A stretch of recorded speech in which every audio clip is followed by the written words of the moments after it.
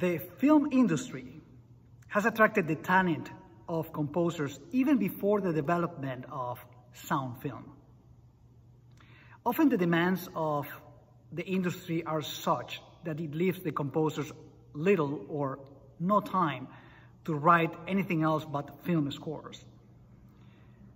Nino Rota, the Italian composer, is considered one of the giants in this field, with 171 film scores to his credit, as a result of his collaboration with famous directors like Federico Fellini, Luchino Visconti, Franco Zeffirelli, and Francis Ford Coppola, for whom he wrote the music of The Godfather.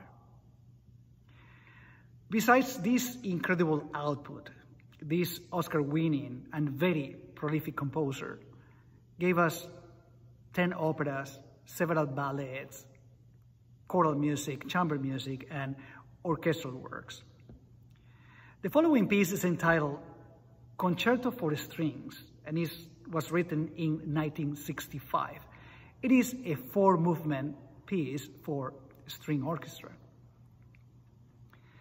The first movement starts with a one-measure motif, an arpeggio up and down. It's pretty gloomy in character. And this motif travels around the ensemble and it serves as the main material, actually, for the entire movement. The second movement is entitled Scherzo, but it's nothing else than a waltz that keeps surprising us with uneven phrasing and rhythmic accents in, in unexpected places.